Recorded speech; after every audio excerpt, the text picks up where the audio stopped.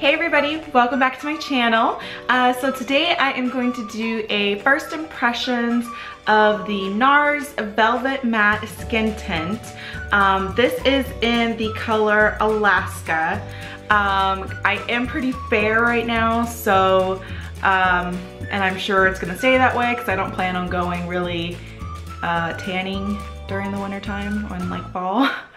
I'll just go ahead and give you guys a briefing on what this product is all about and what it claims to be. Velvet Matte Skin Tint Broad Spectrum SPF 30 effortlessly protects or perfects and protects with a soft matte finish. The oil-free formula wears comfortably, maintaining skin's natural moisture barrier while working to control shine throughout the day helps to blur imperfections, even the look of skin tone, and smooth the appearance of pores and fine lines.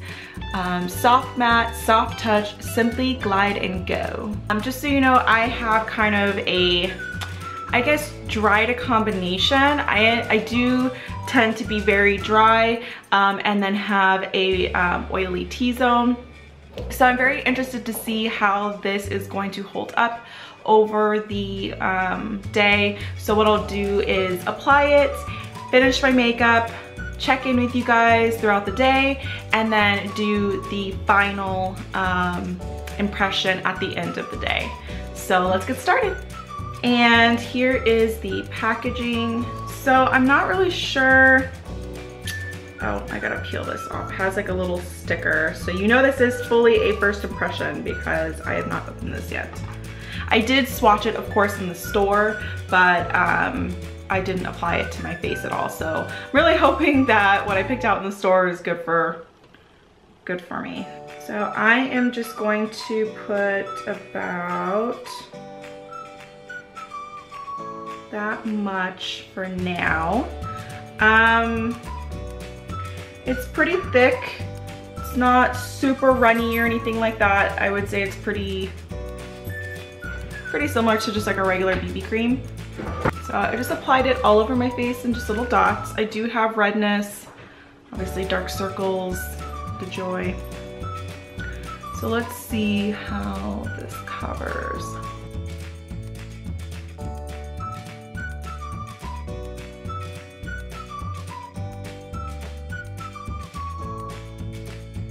This is with the first layer. Feel like it covers pretty well, although I feel like I want a little bit more coverage. So I'm going to apply just a little bit more.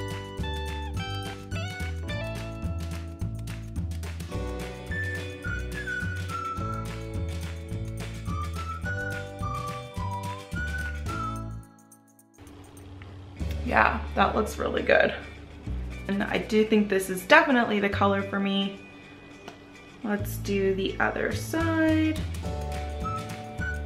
Okay, so this is the final product with two layers on each side.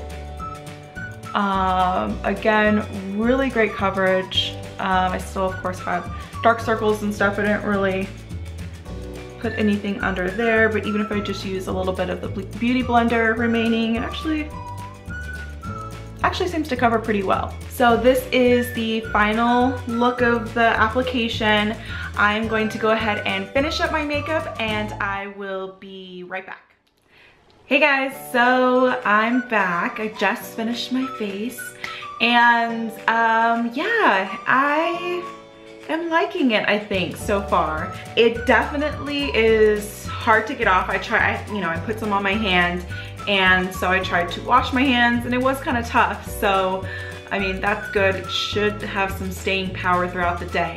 Um, I don't have anything um, like pressed powder or anything like that or any kind of translucent powder other than underneath my eyes. So, and I don't have a primer on. So I really wanted to make sure that I am truly testing this product out for what it claims. It doesn't seem overly drying on the face. Um, I'll kind of do somewhat of a close-up. It doesn't seem to accentuate my pores. It's definitely a matte finish. Um, it looks somewhat dewy because I have highlighter and things like that on, but um, overall it definitely is a matte finish. I'm really loving it so far. Um, I will make sure to check back with you guys throughout the day. It is currently 10:17. I will check back with you guys in a little bit. So I just wanted to check in with you guys and show you what my makeup looks like. Um, it is getting a little oily around my nose. My cheeks look fine. Still has like a nice glow from my highlighter and everything. But again, hardly any shine. I mean, just a little bit on my nose. It's like 90 degrees outside, so it is pretty hot. Um, just running a couple shopping errands and um, again at Ulta, just getting a few things. But I don't know, I feel like it's holding up pretty well. I haven't done anything strenuous um, outside, so, but it is starting to get a little sweaty. But so far it's looking pretty good. Um, I think it's like 5.15 right now. Um, so we're looking at about eight hours of wear as of right now.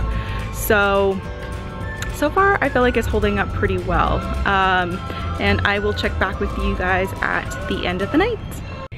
Hey everybody, so this is kind of last minute, but it is currently 8.11. My phone has 2% battery right now, so you can tell I am tired. I'm Up close of my makeup.